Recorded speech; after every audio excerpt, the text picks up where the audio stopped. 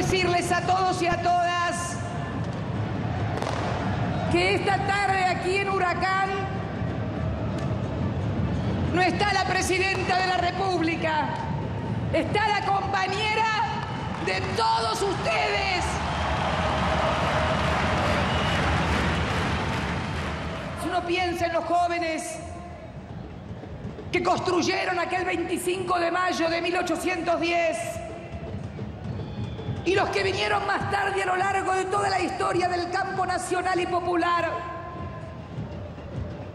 podrá observar que eran siempre jóvenes que se incorporaban a luchar contra algo porque había algo que los oprimía, o era el yugo colonial, o eran las dictaduras, las que no dejaban expresarse al pueblo. Por primera vez, ustedes, generación del Bicentenario, se están incorporando a la política no contra alguien, sino por alguien, por una historia, por la Argentina, por seguir mejorando las cosas.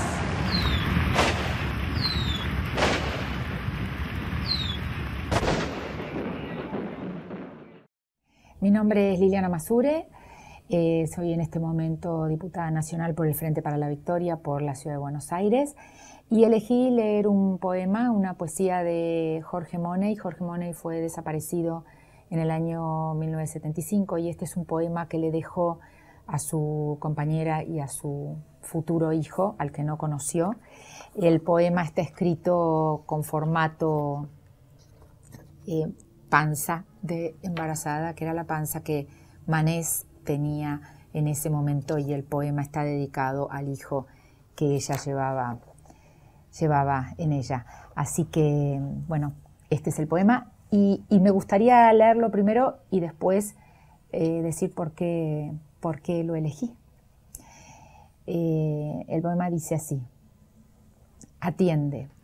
si mi hijo, si nuestro hijo fuera naciera solo Luna, homosexual, poeta o guerrillero, ah, si creciera guerrillero o usurero al tanto por ciento, o asesino oficinista, vendedor de peines en el subte, o suicida, o flor o cardo, violador de tumbas o impasible espectador del mundo, comprensible padre de familia, actor de cine, Rita Hayworth, Tyrone Power, sacerdote, verdugo, militar, terrorista, puta, carcelero, en la exacta mitad de tu ombligo, te explico, Manés, que si nuestro hijo recoge la bandera que dejamos,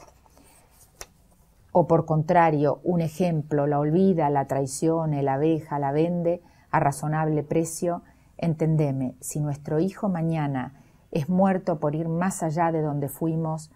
o por menos, o por error, o por justicia, o por lo que sea, si los muertos somos nosotros, vos o yo, o los dos, y él quien nos fusila, de todos modos, Manés, habremos ganado,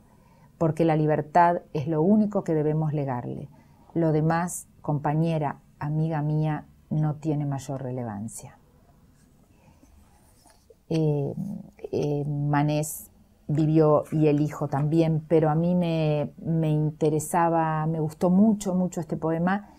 porque mm,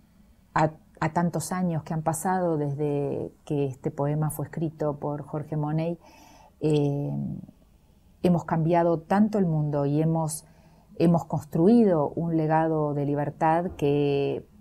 leer este poema tenía que ver con,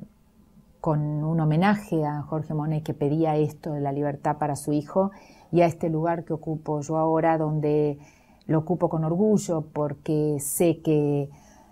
que este Congreso de la Nación ha, sancionado leyes y ha trabajado leyes que nos volvieron más libres, que recuperamos más derechos y que, y que, fueron, que fueron en función de esto, en que cada uno de los sectores que conforman la sociedad argentina hoy puedan vivir en mayor libertad. Por eso me pareció muy interesante este poema y porque los hijos de esta generación hoy trabajan y participan intensamente en la política argentina en función de esto, de la libertad para los para todos y de la y de la y de la protección de los más vulnerables. Así que por eso elegí este poema y por eso me gustó tanto leerlo en esta oficina, en este contexto y en este momento. Estimada Liliana Masure,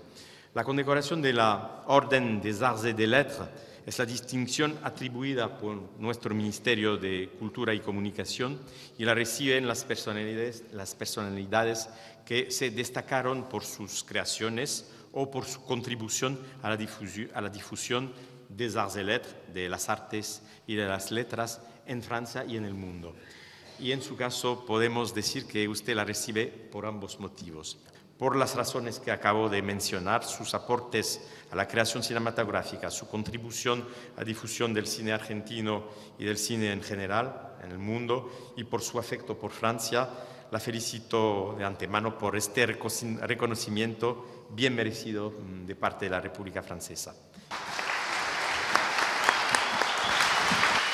Liliana Mazur, au nom de la ministre de la Culture et de la Communication de la République française, je vous fais chevalier dans l'ordre des arts et lettres.